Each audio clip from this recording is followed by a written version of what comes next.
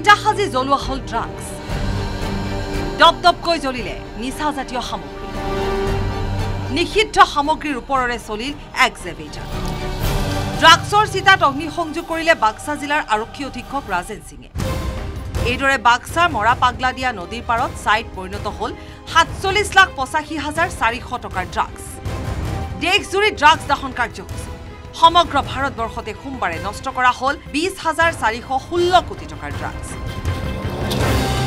অসমত দাহন কৰা হয় এহেজাৰ চাৰিশ ছয়াশী কিলোগ্ৰাম ড্ৰাগছ ডিফুৰ সাত মাইলত নষ্ট কৰা হ'ল পঁচানব্বৈ কোটি টকাৰ ড্ৰাগছৰ লগতে নিচাজাতীয় সামগ্ৰী।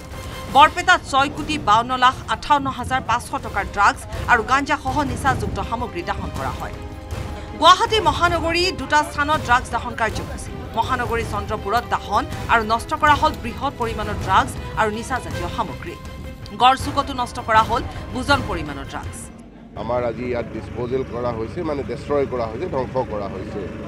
তো আজি কিয় ধ্বংস কৰা কাৰ্যসূচীটো লোৱা হ'ল তাৰ কাৰণটো হ'ল যে নাৰ্কটিক কণ্ট্ৰল ব্যুৰ' আছে গভৰ্ণমেণ্ট অফ ইণ্ডিয়াৰ তেওঁলোকৰ ৰিজিয়নেল কনফাৰেঞ্চ আজি দিল্লীত অনুষ্ঠিত হৈ আছে য'ত ভাৰতৰ মাননীয় গৃহমন্ত্ৰী ডাঙৰীয়া উপস্থিত আছে।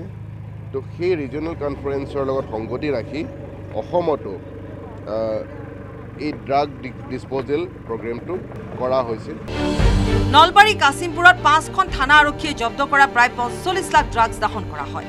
শুৱালকুছি নিকটৱৰ্তী বংশৰত পি এন ব্ৰিক ইণ্ডাষ্ট্ৰী চৌহদত নষ্ট কৰা হয়। প্ৰায় সাত কোটি টকাৰ ড্ৰাগছসহ নিচাজাতীয় সামগ্ৰী।